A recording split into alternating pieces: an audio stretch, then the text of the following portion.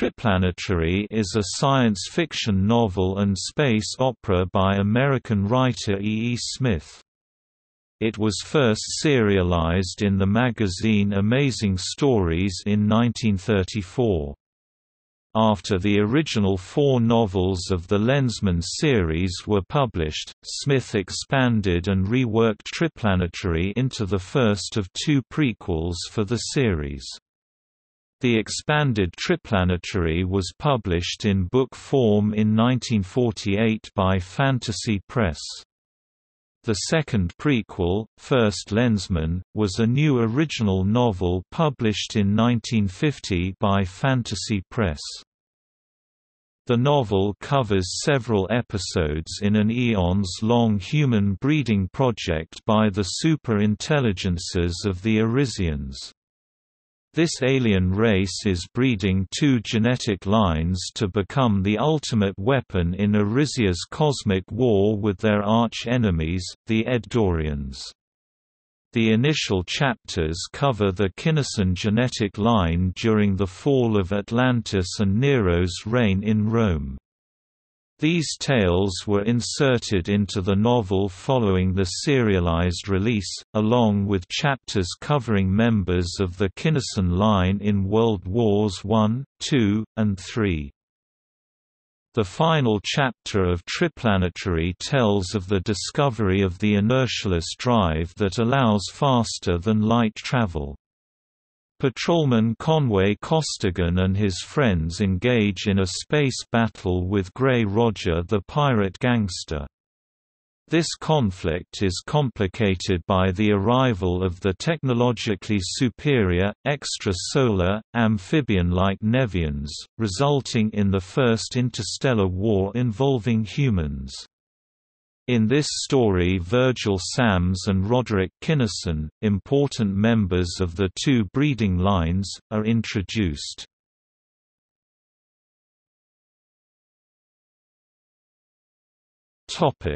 Plot synopsis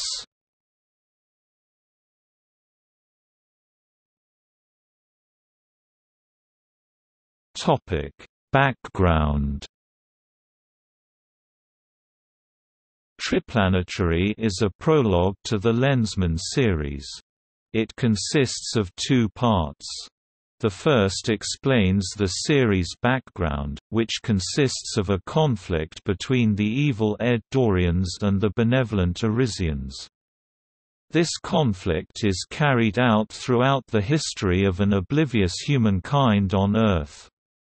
The Arisians undertake a eugenics project to breed two human genetic lines that are intended to become the ultimate weapon in Arisia's cosmic war with Eddor. The author takes five defining chapters to cover the background of the Kinnison line, the destruction of Atlantis in a nuclear war, an attempted coup in Rome against the Eddorian-controlled Nero, the First and Second World Wars, and, finally, a nuclear Third World War.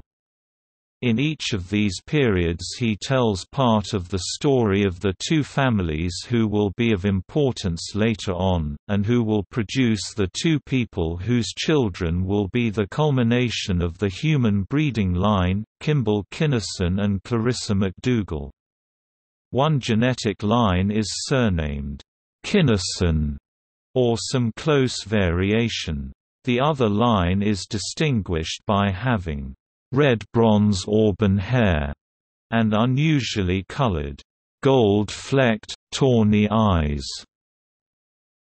The final part of the book, which was originally published as a magazine story, takes up the tale after civilization has been rebuilt with the covert help of the Arisians.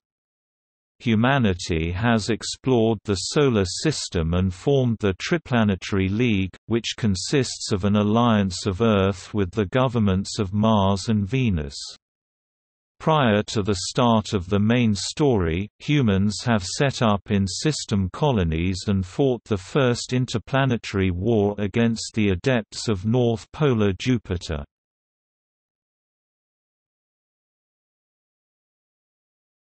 Topic: Main story. As the story begins, interplanetary commerce is plagued by pirates. The fleet of these pirates is led by Grey Roger, a surviving adept of North Polar Jupiter. Unbeknownst to the patrol, Grey Roger is actually Garlane of Eddor. The pirate fleet and the Triplanetary Patrol are in the midst of a large-scale engagement when an alien race known as the Nevians show up. The Nevians are the dominant, amphibious race of the planet Nevia, located many light-years distant from the Sun. Their planet is in a galactic region that has very little iron, which they use as an energy source, so they set out with a spaceship to try to obtain more. The Nevians decide that humans are inferior beings, and carve up both fleets using a ray that extracts every atom of free or combined iron in both sides' ships and personnel into a red, liquid, allotropic iron. The iron is used in this form by the Nevians to power their interstellar ships and their power plants at home. The use of this ray means the death of nearly every person in both fleets. Roger survives the battle and flees to start a new operation on a distant world. After absorbing the fleets, the Nevian ship goes on to the Earth and the same action is taken against the city of Pittsburgh before the ship heads for home.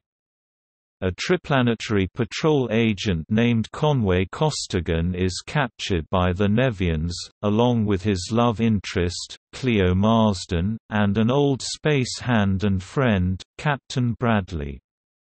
Costigan is actually an undercover operative of triplanetary intelligence and uses a secret technology called an ultrawave spy ray to examine the Nevian technology. He reports home to Earth scientists. On Earth, patrol scientists are working feverishly on their new super ship, the Boise. This ship has mankind's first inertialess drive and can travel faster than light. Using Costigan's reports, human scientists figure out Nevian technology, improve upon it, and install it on the Boise. After forcing a second Nevian ship to flee, the Boise heads for Nevia. On the way, the Boise locates the new pirate base. After much fighting, Roger is defeated by a resurgent patrol armed with both human and Nevian technology. The three humans captured by the Nevians are taken home to Nevia and put on display as zoological specimens. Costigan and his companions stage several escape attempts, but are repeatedly foiled. Finally they escape, having destroyed a Nevian city with a chemical weapon, and head for Earth, being chased by the first Nevian ship. The Boise reaches them before the Nevians do, and Costigan and his companions are rescued. The Nevians are then fought to a stalemate. A peace is negotiated and the Nevians are forced to acknowledge humans as equals.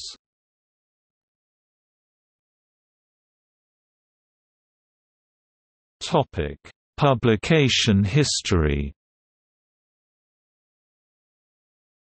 Triplanetary was first serialized in the magazine Amazing Stories in 1934. Following the success of his Lensman series, Smith expanded and reworked the novel into the first of two Lensman prequels. Triplanetary was published in book form in 1948 by Fantasy Press in an edition of 4,941 copies. The second prequel was a new original novel, First Lensman, published in 1950 by Fantasy Press. Major changes to the original version were new introductory chapters concerning the history of the benevolent super race, the Arisians, who resemble giant human brains, and their enemies, the demonic super race, the Eddorians, who resemble amoebas. Smith also introduced the idea that the original novel's villain, Grey Roger, had always been secretly Garlane of Eddor, but disguised in human form. It is also explained that Garlane had previously disguised himself as Nero.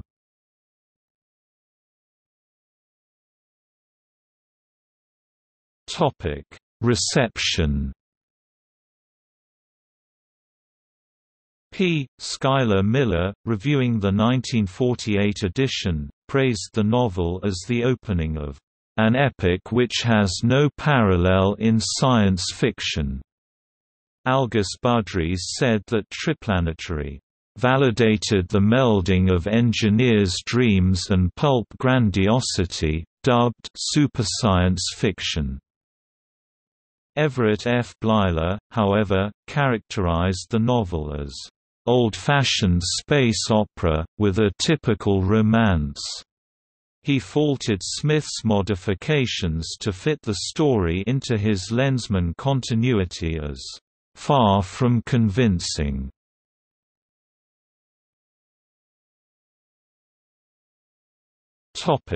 See also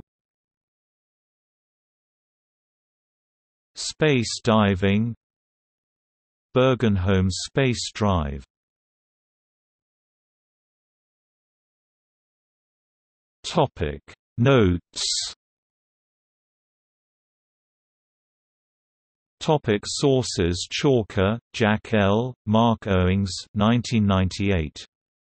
The Science Fantasy Publishers, A Bibliographic History, 1923–1998. Westminster, M.D. and Baltimore, Mirage Press, Limited. p. 235. Brown, Charles N., William G. Contento. The Locus Index to Science Fiction 1984–1998. Retrieved 5 March 2008. Tuck, Donald H. 1978. The Encyclopedia of Science Fiction and Fantasy. Chicago, Advent. p. 398. ISBN 0-911682-22-8. Ellik, Ron and Bill Evans 1966. The Universes of E. E. Smith. Chicago, Advent, Publishers. ISBN 0-911682-03-1.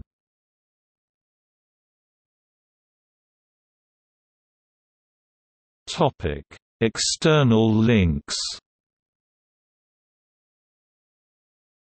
Triplanetary at Project Gutenberg rewritten Lensman Series 1948 edition Triplanetary at Project Gutenberg transcribed from Amazing Stories January, February, March and April 1934. Triplanetary at Faded Page Canada. Triplanetary title listing at the Internet Speculative Fiction Database. Triplanetary public domain audiobook at LibriVox